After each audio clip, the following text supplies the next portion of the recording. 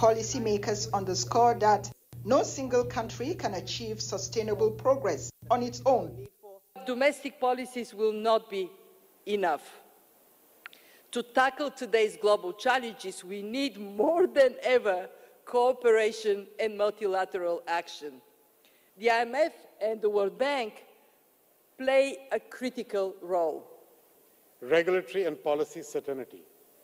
We're testing our capacity to help governments with this, along with the IMF and the African Development Bank, through our initiative to connect 300 million people in Africa to electricity.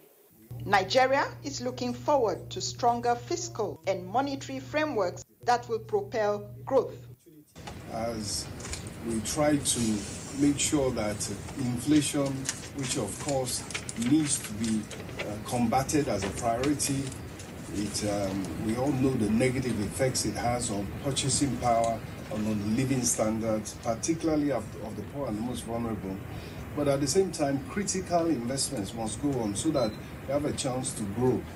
Because at the end of the day, it is, um, it is growth and job creating growth that uh, leads to a reduction in poverty, which is the major aim of the economic policies and strategies of President Bola Ahmed Tinubu. We have achieved increased transparency and improved overall supply in the foreign exchange market, leading to reduced arbitrage and speculative activities and eliminated the front loading of foreign exchange demand.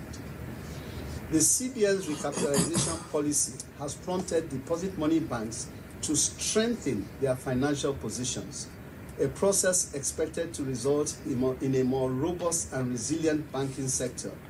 The meeting ended with emphasis on unity and shared responsibility, which reflects the urgent need for cross-border partnerships to drive global prosperity.